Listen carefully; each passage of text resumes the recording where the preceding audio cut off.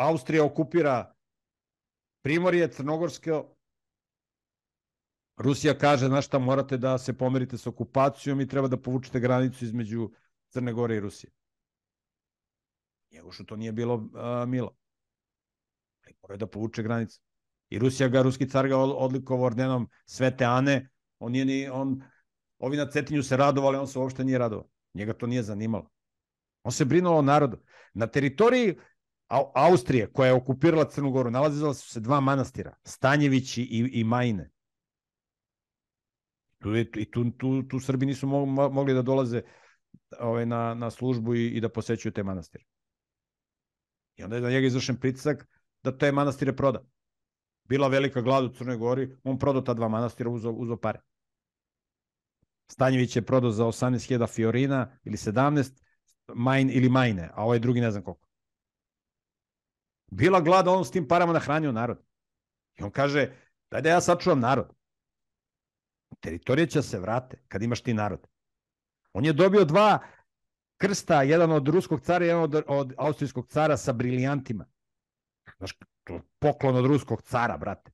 Poklon pa to da uramiš da držiš. I od bečkog ćesara.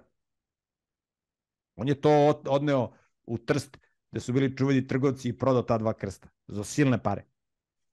I od tog novca kupio hranu da, na, da prehrani narod. Njegoš. Znači, šta je poenta? Poenta je sačuvati ljude. A teritorija će da se vrate. Znači, ti kad razgovaraš sa međunarodnim banditima koji su na sve spremni, koji, su, koji, koji uživaju u ljudskoj prolivanju krvi i u per, per, perverzijama, oni ti daju opciju uzmi ili ostavi. Kraj priče. Nema tu, to ti isto ko Milošević. Milošević neće da prihvati okupaciju Kosova. Vratu uvate pa ga izbombarduju. Nećeš. Ajde vidimo da li nećeš. Znači, nema tu ljudi koji se zovu da su vlast u Srbiji.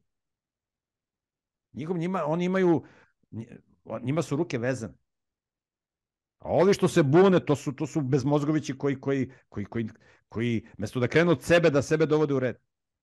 Isus se time nije bavio. Isus da danas živi u Srbiji. On se ne bi bavio pitanjem da će, kakav će da se napravi međunarodni ugovor između Srbije i Kosova. Isus se time ne bi bavio uopšte. Isus bi se bavio moralnom reformom naroda. A svi ti koji se bune i jedni i drugi i treći i peti, svi su izjašnjavaju kao da su hrišćani da su religiozni. Kakve oni veze imaju s Isusom Hristom? Jesi Isus nekad bavio okupacijom Judeje? Judeja je bila okupirana od strane Rimske imperije, ko što je danas Kosovo okupirano od strane NATO pakta. Jesi Isus borio, borio protiv okupatora? Nije. Jer Isus je znao kako se oslobađa teritorija.